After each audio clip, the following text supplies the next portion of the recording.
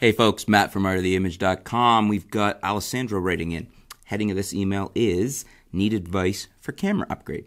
So he writes in, he says, Hi man, I wanted advice from you if possible. Always watch your videos, but now I'm a bit confused as I want to upgrade my camera.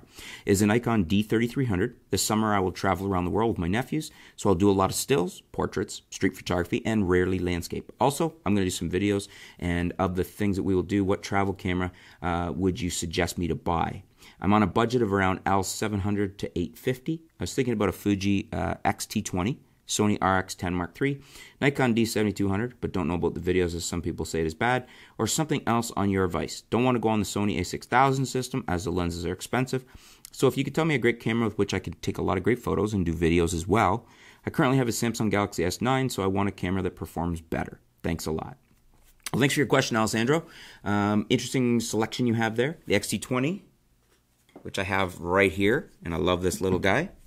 And my favorite kit lens of all time, the 18 to 55 2.8 to 4 Fuji. Build quality astonishing, um, optical quality amazing, just a, an incredible kit lens. Um, this is a great setup. That's probably what I would choose out of your choices there. Um, smaller and lighter than the D7200. D7200 is a good camera. The XT20 does 4K. The 7200 does not.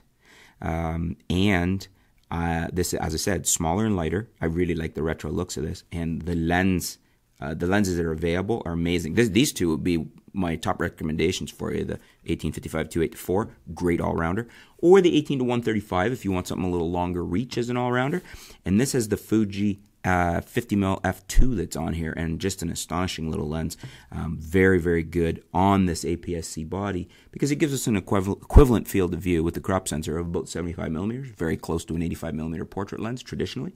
Uh, so I love 50s on crop sensor bodies like the XT20 or the uh, D7200 as well, uh, because they give us very close to that 85 millimeter field of view. Great portrait lenses and a great price and a great deal and great build and great optically. This little 50 is amazing.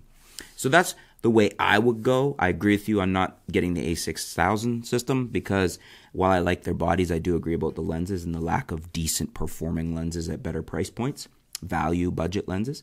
Um, the Sony RX10 Mark III is a great camera. It's a very interesting camera, um, but it's an ultra zoom and you don't get the versatility or the image quality that you'd be able to get out of the XT20. Still very good performer, and it has its niche um, for things. Very, very good video camera.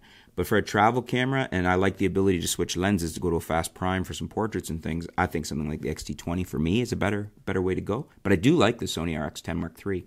D7200, I love that camera.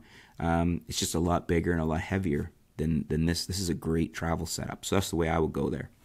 What do you guys think? Do you agree with me? XT20 the way to go? Do you like my lens selections? Would you do something different? Would you choose something else out of his selections? Would you choose something different altogether? Maybe a Canon SL2? That's a really good option too. Uh, or an M50 maybe. Let me know in the comments below. What would you do and why? Let's help out Alessandro. Always great to get you guys feedback. Uh, kind of helps round out the advice when our viewers are trying to make a decision on what to buy. Thanks for your question, Alessandro. Stay tuned. We'll be back soon here at artoftheimage.com.